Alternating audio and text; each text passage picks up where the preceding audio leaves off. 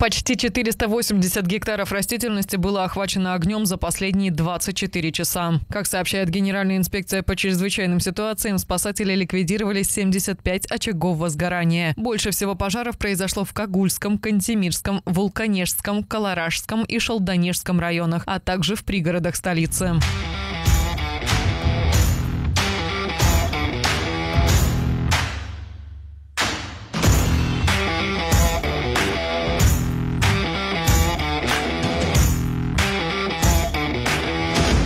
Селе Рычула Каларажского района сгорело 30 гектаров растительности, а в селе Алчедарь Шалданежского района пламя охватило 12 гектаров. В городе Кодру сгорели 33 гектара. На борьбу с огнем ушло несколько часов. Несколько очагов возгорания спасатели ликвидировали в селе Ларганоу Кагульского района, где пламя охватило 8 гектаров, и на окраине столичных пригородов Доброджа и Гидигич, где сгорело 20 гектаров растительности.